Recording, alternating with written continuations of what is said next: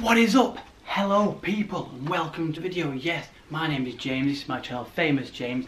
No I'm not famous, it's a joke. Anyway, thanks again for the current views, thanks again for the subscribers. If you haven't already, don't forget to subscribe, click the notification bell. This video isn't going to be very long, um, really the, the whole thing. I did, I went out on the hottest day of the year and um, I got that much good footage that I thought I'd make two videos out of it. So my last video was the first one the second video. This video is the, um, the, the may say the sequel. Um, I enjoy the rides.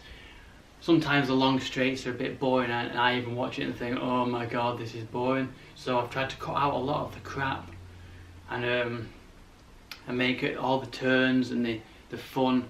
Country roads, long roads, bit of overtaking to show you that if you do it safely, it can be very fun.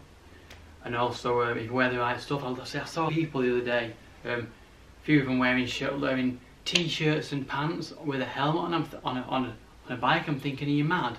I wear a proper helmet. I have an intercom system for my music in it and stuff like that.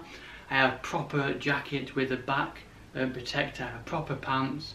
I have proper boots. And I have proper protective gloves. So, so I, I always say, ride safe. Almost the one that almost hit me as well, which you should probably see. Um, think bike, think biker. Just think safe. We're all here to have a good time. Don't be stupid. Appreciate the following my um, my followers on Instagram, both Instagram pages down below there. And find them and find there. I've got pl plenty of videos that you may that you'll enjoy.